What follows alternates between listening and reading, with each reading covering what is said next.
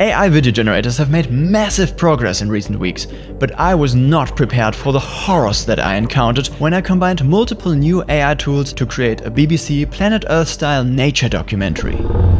But in the serene depths a lurking nightmare awaits. On our journey to the darkest depths of the AI-generated oceans, I will show you the free tools that I used to create this documentary and how you can use them to create your own AI short films. So make sure to watch to the end.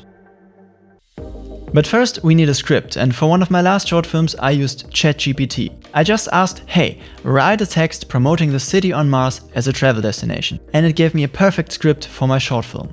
But this time I want to do it differently because ChatGPT has eyes now. With a new update, you can actually upload images and ChatGPT will understand their content. So my idea was to ask for a list of strange, never before seen animals, film them using this new AI video tool, and then show these images back to ChatGPT asking it for appropriate names and to write a short Wikipedia article about them. In the end, I will ask to write a Planet Earth style nature documentary about all these animals. And one of the creatures that ChatGPT gave me was a mix between an octopus and a crab. So now let's bring that to life.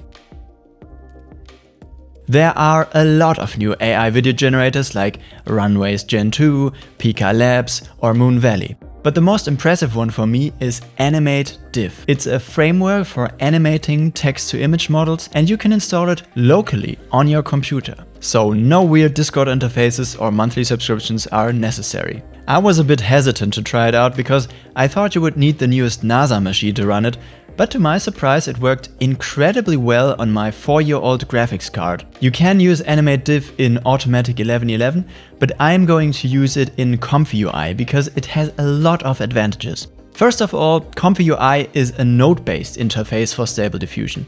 And that means that every single node you see here is a piece of code doing one specific task. And then you can plug them together to quickly build your own workflows. And if you ever worked with Blender, DaVinci Resolve or Nuke, you are already familiar with this concept. For everyone else, I know this looks complicated at first, but the installation process is really simple and you can find some great tutorials for that in the video description or on my Patreon. And once you have everything set up, you can just download my two workflows, one for short videos and one for longer videos, for free on my Patreon and just drag and drop them into Comfy UI. And now let's use the short workflow to generate the octopus crab.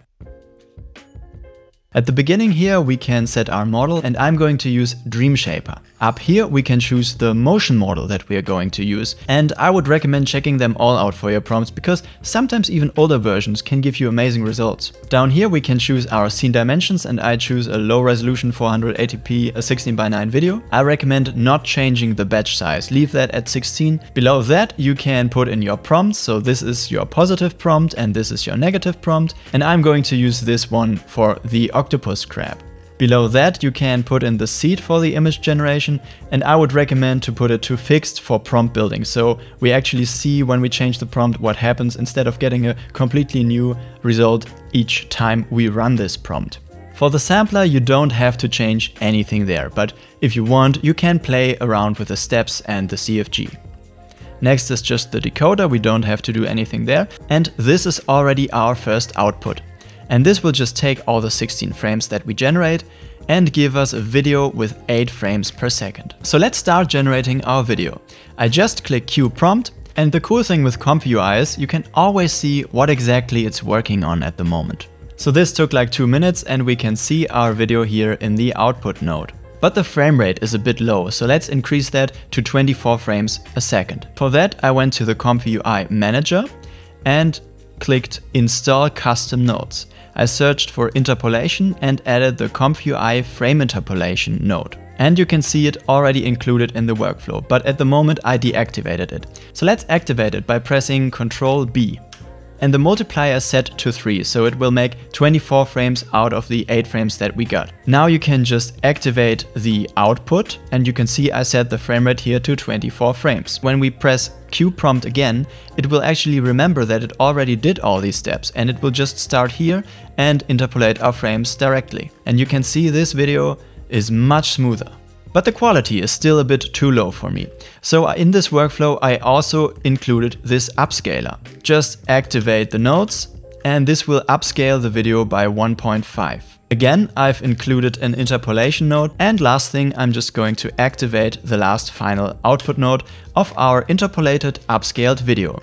And now we can just click Queue prompt again and it will start right here at upscaling our video.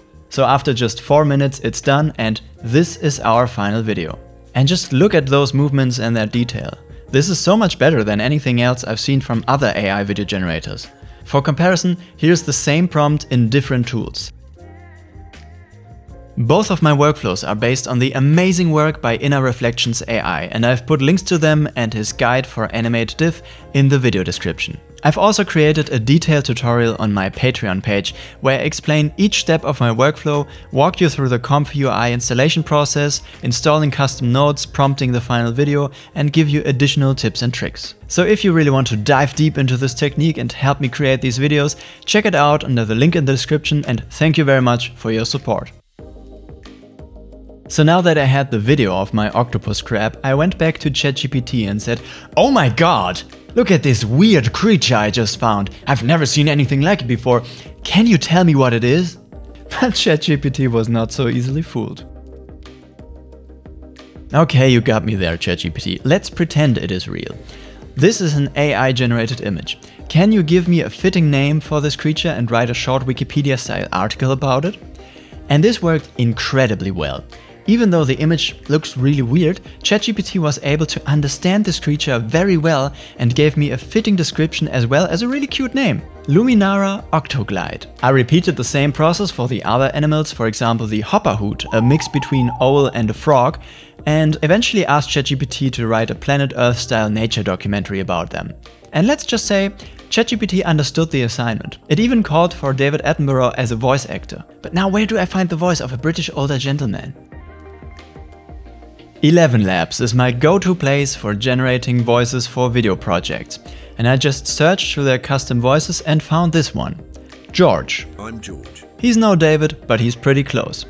And what I like to do is to play around with these sliders and generate multiple versions of the same text so I can edit together my perfect voiceover. The last step was to put everything together and add music and sound design. For that I used the free editing software DaVinci Resolve. I also used it to grade the colors of the clips to make them pop a little bit more and to add additional effects like smudges on the lens, camera shake, retimes or blur effects. But now it's time for us to dive down into the AI abyss and face one of Latent Space's most terrifying creatures. I hope you're not afraid of tentacles. In the sun-drenched landscapes of Enchantis, life thrives in the most unexpected forms. On its golden shores, a peculiar creature, the sand scuttle, makes its way across the sands. Perched on a nearby palm tree, the hopperhoot observes the world below with keen, piercing eyes. Its majestic feathery brows twitch as it spots the sand scuttle. With a combination of avian intelligence and amphibian agility, the hopperhoot readies for a dive but the swift sand scuttle withdraws into its shell just in the nick of time, leaving the hopperhoot hungry. As daylight begins to wane on the shores of Enchantis, we venture deeper into the azure waters. In the heart of the cerulean abyss, where light from the sun scarcely reaches, evolution has given rise to one of the ocean's most enchanting spectacles, the Luminara octoglide, a creature of luminescence and continuous metamorphosis. It feeds on the glow of bioluminescent algae, a diet that not only nourishes but adds to its own radiant allure. But in the serene depths, a lurking nightmare awaits. The Cephaloshape, a creature of Enchantis' darkest depths. Its insatiable hunger is born from a parasitic organism within, driving it to hunt incessantly. Luminara octoglides scatter in a shimmering display, their glow intensifying with fear, and this mother quickly absorbs her babies. As the cephaloshape gives chase, a fascinating spectacle unfolds.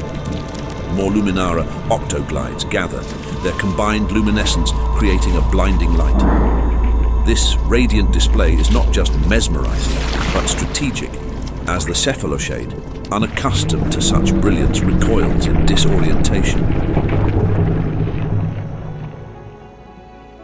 As the night completely envelops Enchantis, the Luminara octogliders gather to celebrate their victory, transforming the shores and waters of Enchantis into a mesmerizing tapestry of glowing lights.